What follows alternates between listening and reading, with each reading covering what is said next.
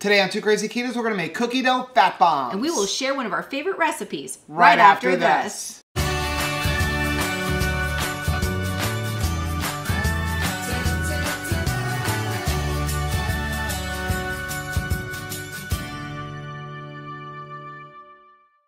what's up, family? I'm Rachel. And I'm Joe. And we are Two, Crazy, Ketos. If you're new to our channel, welcome. Here on Two Crazy Ketos, we do different things like product reviews, we do recipe videos, we talk about various keto topics, and then every Monday, we sit down on the couch for Keto on the Couch. We just kind of talk about what's going on in our lives for the week. You can find us on different social media platforms like Facebook, Instagram, and Twitter. And we have a website, which is twocrazyketos.com, and that's where you're going to find all of our different recipes. Now, we do upload at least five new videos every single week, so make sure you subscribe to our channel. And don't forget to hit the little bell icon, and that way, every single time we upload a new video, you'll be alerted to it. Yeah.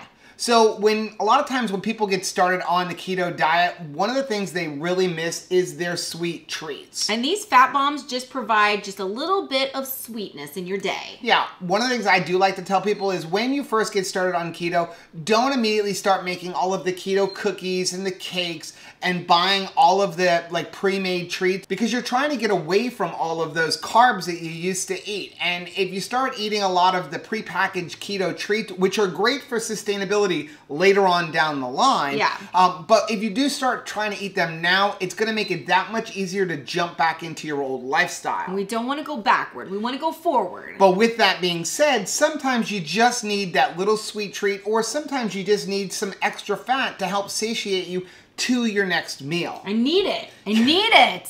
And when I got started, one of the things that really helped me was making fat bombs. So today's recipe is a really delicious fat bomb. It kind of reminds you of the old things that you ate, but it's gonna give you a bunch of extra fat and it's got a little bit of sweetness to it. I got a question for you though. What? Is it easy to make? It is very easy to make. How easy? It is so easy, even Rachel can make it. Seriously? That easy. Okay, let's get this started. So let's go over the ingredients. The first thing we're gonna need is some almond flour. Okay. Then we're going to need a stick of butter. All right. And we're going to need some cream cheese. Okay. A whole block. We're gonna need some vanilla. Mm-hmm. We need some stevia. Then we're gonna need, this is optional. I personally don't use it, but some people may wanna up the sweetness a little bit. Some erythritol. Then we're gonna need some chocolate chips if you wanna add them in there, but for me, cookie dough has to have chocolate chips. Yes. So we're gonna use Lily's.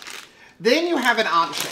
Okay, we're gonna use peanut flour. Oh, wow. But if you don't have peanut flour, you can just use some peanut butter, which we'll show you how in a minute.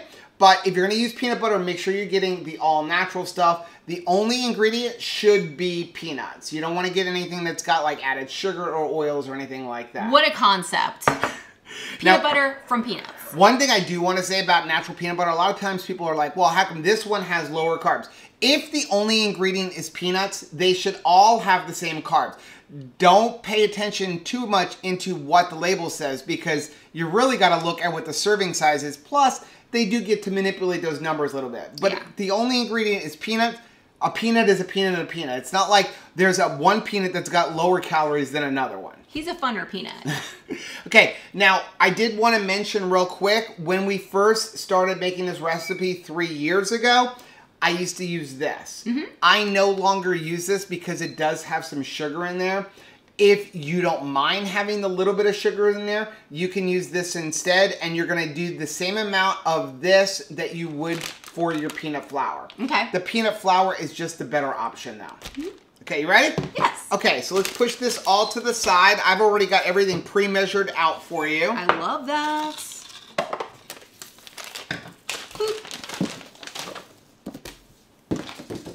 Okay, we're gonna start off. We've got a bowl, Got a bowl. and to that bowl, we're gonna put two thirds of a cup of almond flour, and we're gonna go two tablespoons of our peanut flour.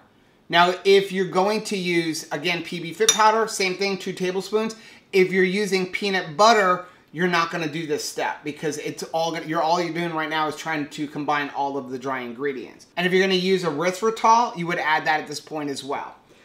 Last thing I'm gonna use is a half a teaspoon of salt just because I wanna have some salt with my sweetness. Okay, so now we can just go ahead and combine all of that. Okay, that's good. Okay, you ready? So now to that, we're going to add an entire stick of butter an entire block of cream cheese, and you want to have this at room temperature, so make sure it's nice and soft. Let's get this party started. Then we're going to add Whoop. a half a teaspoon to a teaspoon of vanilla and a half a teaspoon of stevia. Now, if you don't like stevia, you can use erythritol. You would use two thirds of a cup. I prefer stevia for two reasons. Number one, no sugar alcohols, which means less total carbs. And also, I really just want a fat bomb. I don't want it overly sweet because I'm trying to get away from the sweet stuff. Trying to get rid of that sweet tooth. Okay, now all we're gonna do is we're gonna take our beater and just combine this really well. Okay, that's good. To that, we're going to fold in one serving of the Lily's chocolate chips, and we're using the small ones.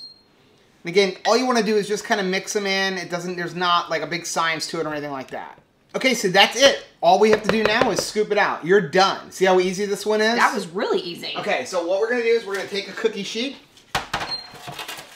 I'm gonna give you the cookie scoop, and we're shooting for 18 scoops. So what I like to do is just fill it in and then level it off. Okay, so that's 18. So this is what we have now.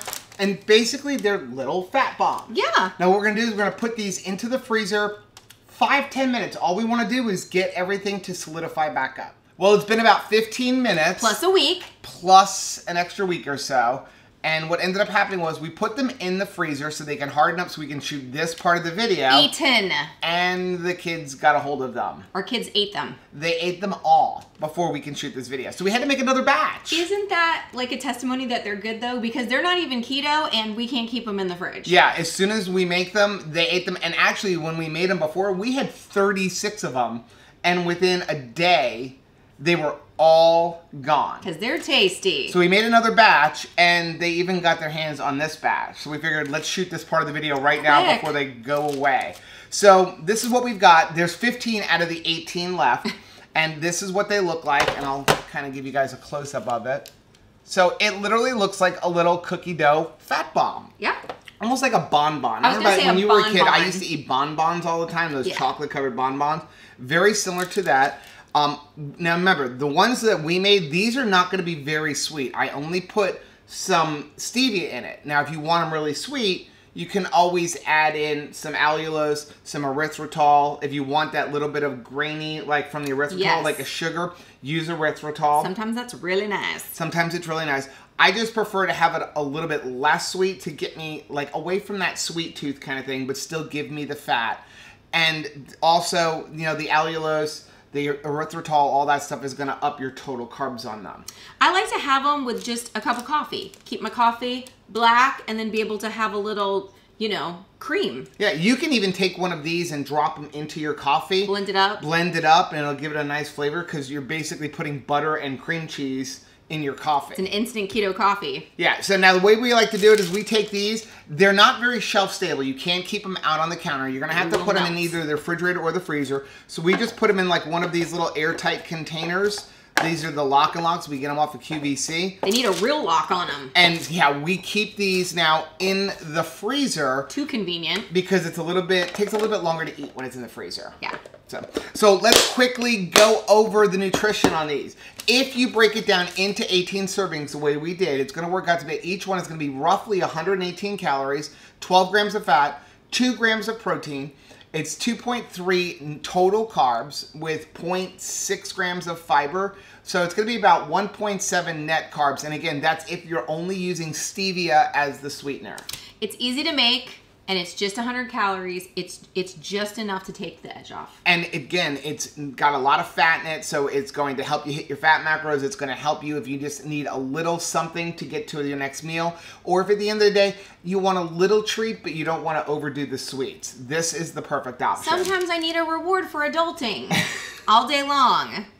Now, again, like we said earlier, you can kind of change this up. If you don't want to use the peanut butter, you can take out the peanut butter. You can add in some other things. You can keep out the chocolate chips. You can substitute peanut butter for the peanut butter flour, or you can even use PB Fit powder. So pretty much the sky's the limit when it comes to this recipe and the way you can change it up. I need it. I need everything in there. Do not take out the peanut butter. Do not take out the chocolate chips. I need it all. Or you could be like Rachel and just leave it as is. All of it. So that is our video for today. Please do us a favor. Let us know down in the comment section uh, if you make these and also let us know what kind of other add-ins you'd put into your fat bombs. Yeah, add. Add? The word is add. Add more. Please do us a favor and hit that like button down below. And don't forget to subscribe to our channel and hit the little bell icon and that way every single time we upload a new video, you'll be alerted to it. And until next time. Bye. bye.